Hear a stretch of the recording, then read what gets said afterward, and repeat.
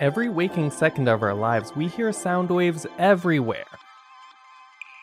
From the hum of a fan to the clicking of your keyboard, sound waves permeate our lives. But how do they travel throughout the world around us? To answer this question, we are going to engage in a thought experiment. Okay, so let's say we have a bar of steel that reaches the 384,000 kilometer distance between the surface of the Earth and the surface of the moon overhead. Let's be real, that's a very long bar that could never feasibly exist, but for the sake of this thought experiment, let's say it does, and that we are going to suspend all of these factors.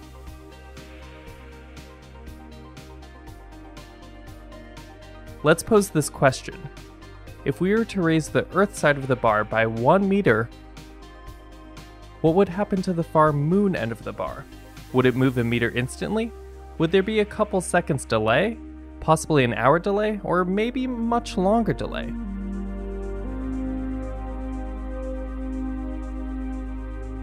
As it turns out, the moon end of the bar would move 1 meter 18 hours and 24 minutes after we moved to the earth end of the bar. This is a massive delay, and it is due to the fact that when we push on the bar on Earth, we are not pushing on the entire 384,000 kilometer long bar at once, but rather we are just pushing on this localized group of atoms here.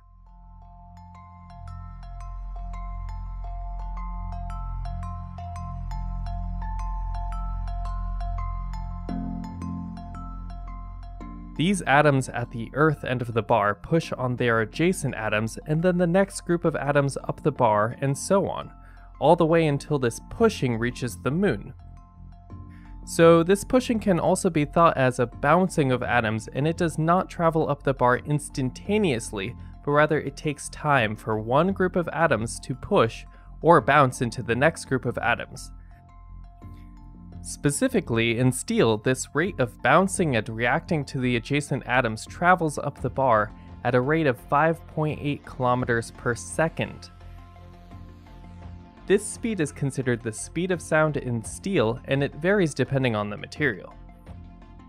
If the bar were made of oak, the distance between the Earth and the Moon would be covered in just under 27 hours. That's a long time, but eventually the motion would get there.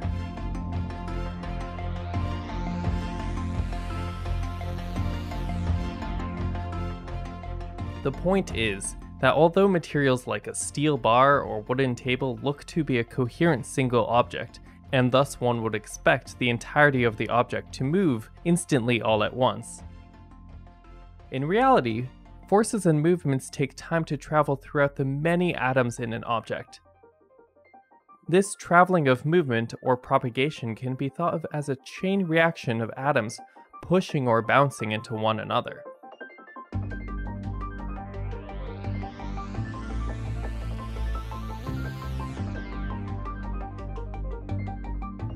The speed of this propagation is called the speed of sound, and it is dependent on the material or medium that the motion passes through. It is also dependent on the temperature of that particular medium.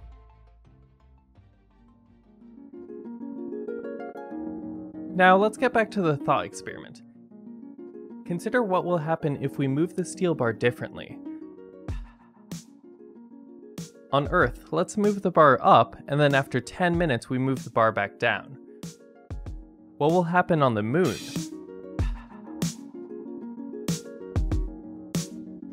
Well, similar to our previous experiment, after 18 hours the bar will move up, and then 10 minutes after that it'll move down.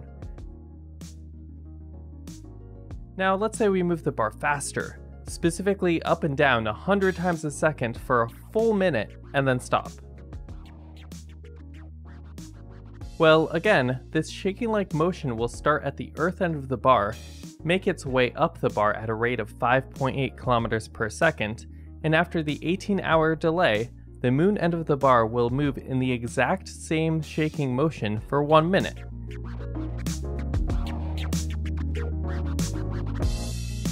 In essence, forces and motions in a material do not catch up to one another.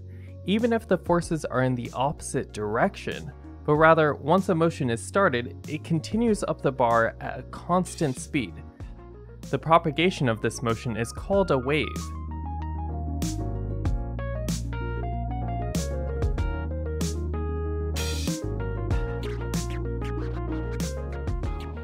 In this thought experiment, the steel bar represents the air around us, and the chain reaction of bouncing atoms up the steel bar represents the propagation of a sound wave.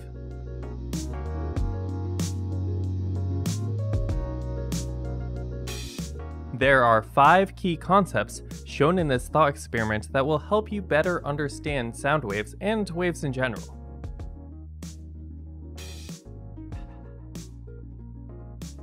The first is that sound waves are a bouncing of atoms or particles into one another. Second, waves can travel very far, however, the atoms themselves only travel a short distance. Third, waves travel at the speed of sound, and these speeds are material dependent.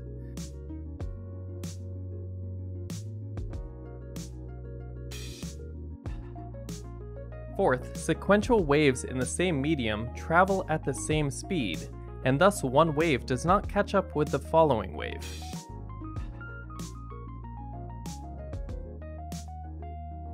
And finally, fifth, the coup de grace of concepts.